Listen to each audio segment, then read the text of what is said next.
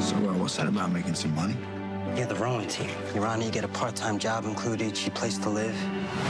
Eight-man crew is the most difficult team sport in the world. The average human body is just not meant for such things. Most of you will not be chosen. Beautiful speech, coach. I have to say, Desplat's score was incredible, George. The, those over the head shots you had of the water when the rowing was unbelievable. And I just love the quiet moments with Joe and George, like when they're painting the boat and everything. Yeah. It was really cool. Um, but one thing I really found interesting about this was rowing is more poetry than sport. Mm-hmm. And there's that great moment where you break down the eight seats and how they all have to come in sync to find that flow state. And it reminded me of, of filmmaking in a way and, and finding that flow state within filmmaking. And I don't know, how would you break down almost those eight seats in terms of how you make a film and kind of finding that flow state as one? Well, I mean, they're very similar sort of uh, disciplines, which is that you know each per each group individually has to perform, but they have to perform with one goal in mind, you know, and that's, I, I, suppose, if you're a director, that's probably, wouldn't you think, when you're directing, it's probably one of the more important things is just to make sure that you're in, encouraging their skill, but making sure that we're all trying to work at the same.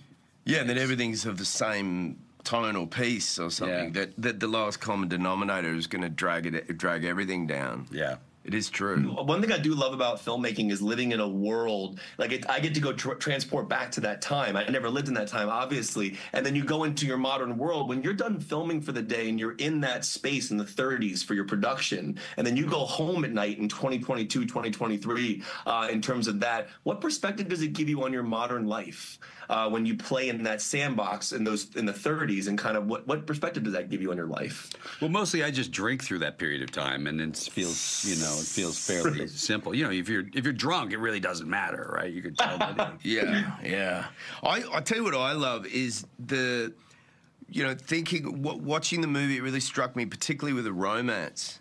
Mm. This the patience. You know, mm. obviously, patience doesn't play a, a, much of a role in our lives anymore with smartphones and everything we need, and we can constantly search for desire and impulse, and you know, the the patience of just sitting with the task in, yes. in the old the old days. Yeah. Um, is just so beautiful when that comes to dedication to a pursuit or a romance or anything. You know, yeah. I quite love that. Maybe we can roll as a team.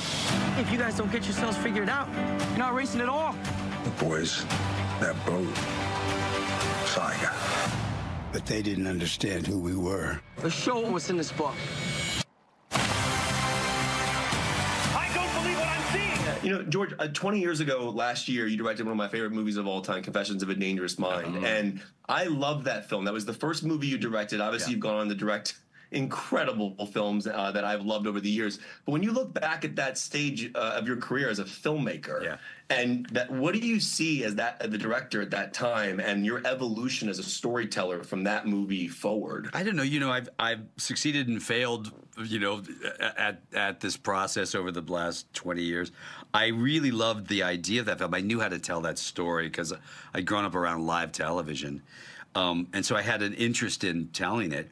Um, and it's always easier. And and then the next film I did was Good Night and Good Luck, which I also had an understanding oh. of that world.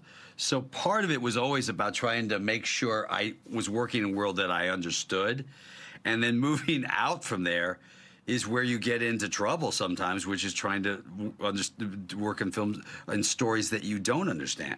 But that's how you yeah. grow. And you know, part of the secret, and we were talking about this earlier, which plays back into the boys on the boat, is you don't learn anything from success. You learn from failures. And when mm. you hmm. when things don't work, that's a really it tells you what you're. That's where you grow if you if you handle it well, if you take it yeah. well and understand. Yeah.